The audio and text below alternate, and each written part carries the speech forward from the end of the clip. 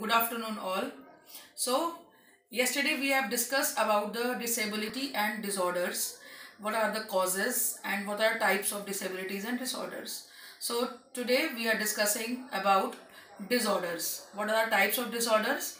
I, as i have already to, um, told you that there are five types of disorders. First we are discussing adhd adhd means attention deficient hyperactivity disorder. That as you see attention deficient hyperactivity disorder means that in this disorder this the child is uh, not able to attention not able to focus on the things which he want to uh, like uh, learn which he want to acquire. And he is easily distracted by uh, other things. He, he he's attention he's a kind of attention seeker. His impulses are not working properly. He's hyperactive.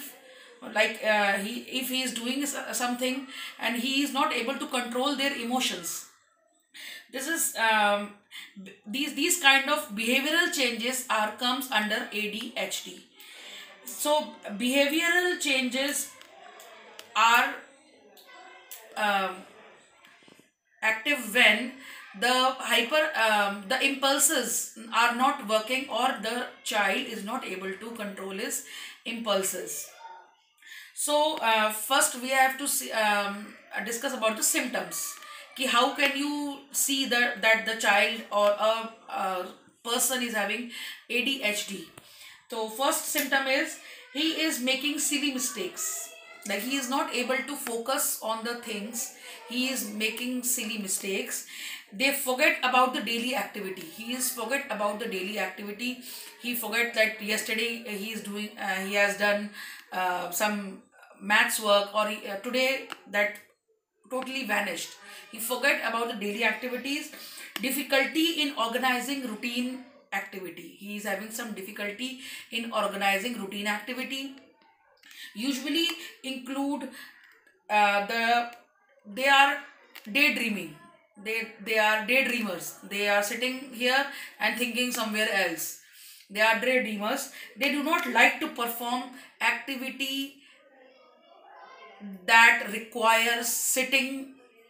He is not able to sit and do activity quietly. They are bouncy they usually bouncy when sitting. They are not sit not even of not even for 5 minutes. They usually um, not play quietly. They all they already uh, always make uh, uh, noises. They shouts they are not playing quietly. They become restless. They are not when you think that they will uh, become tired and they will sit quietly? No. They they never become tired. They always become restless. And these all are the symptoms of adhd now we are discussing about the causes. First causes causes genetic. By birth. As you see these kind of uh, child are basically uh, first causes genetic. Like the father um, he is uh, he acquire that uh, uh, disorder by parenting like mother or father. Second is brain injury. Maybe due to some accident he got some brain injury. Due to this this reason also they uh, acquire this, um, this disorder. Then low birth weight.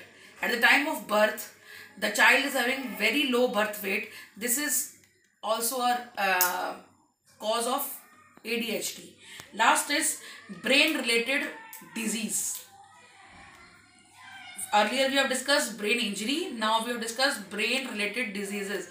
If the child is having some kind of disease related to brain, uh, you see brain fever and sometimes typhoid, this kind of uh, diseases are also may lead to ADHD. So today we have discussed ADHD the full form of ADHD is attention deficient hyperactivity disorder. So you have to just recall the points and symptoms and causes and tomorrow we are discussing other disorder. So and now I am giving you some assignments. So complete it and show it to me tomorrow. Okay.